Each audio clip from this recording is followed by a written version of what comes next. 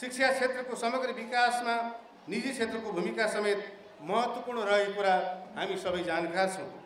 वर्तमान सन्दर्भमा निजी क्षेत्रका शैक्षिक संस्थाहरूलाई सर्वसुलभ र थप गुणस्तरीय बनाउँदै लैजानुपर्ने दिशामा हामी सबैको चासो र तदारुकता हुन जरुरी छ।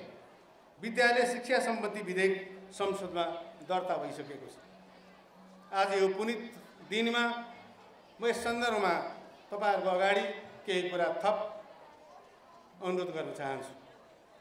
शिक्षा विधेयक हामीले मुलुकको सङ्घीय लोकतान्त्रिक गणतन्त्रको संविधानले व्यवस्था गरेको परिकल्पना गरेको र सरकारका तिनै तहलाई त्योसँग जोड्ने गरी संविधानले परिकल्पना गरेको कुरालाई मूल आधार बनाएर शिक्षा विधेयक संशोधनको प्रक्रिया हामीले अगाडि बढायौँ।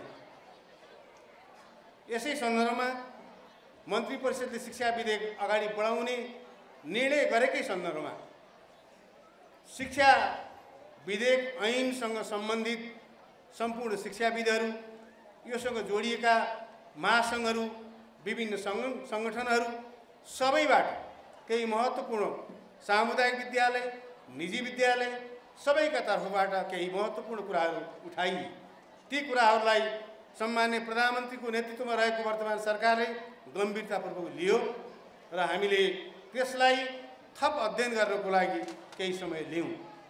आज यो सन्दर्भमा मैले भन्नुपर्छ सम्मान्य प्रधानमन्त्रीज्यूको निर्देशनअनुसार मेरै संयोजनमा मान्य शिक्षा मन्त्रीज्यू कानुन मन्त्रीज्यू शिक्षा मन्त्रीज्यू मान्य उप प्रधानमन्त्री गृहमन्त्रीज्यू र सम्बन्धित सचिवजीहरू र मुख्य सचिवसहित हामीले सरकारवाला महासङ्घहरू सामुदायिक विद्यालयसँग जोडिएका सङ्गठनहरू महासङ्घहरू निजी विद्यालयसँग जोडिएका महासङ्घहरू व्यवस्थापन समितिसँग जोडिएका सङ्गठन सङ्घहरू सबैसँग हामीले अत्यन्त गम्भीरतापूर्वक उहाँले उठाएका विषयहरूलाई मागहरूलाई भनौँ जायज कुराहरूलाई हामीले बसेर लगभग एक महिना निरन्तर रूपमा छलफल गऱ्यौँ।